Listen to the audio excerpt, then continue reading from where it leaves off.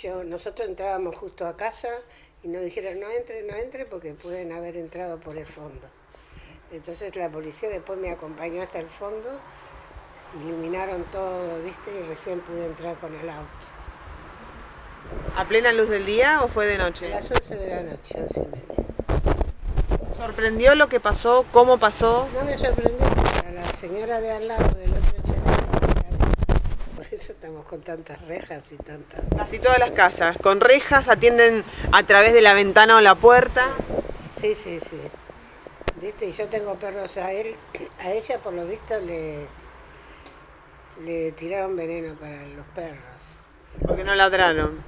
No, pero qué, qué raro que, que sabían que había perros. Yo tengo cuatro perros también. Ahora entraron por el corazón de manzana, entraron por el frente. Pi- piensa que entraron por el fondo.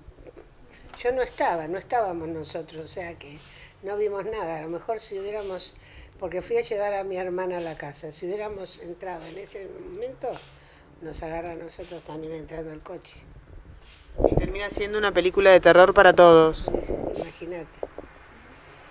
Ahora a ella le robaron el arma reglamentaria. La del novio, me parece.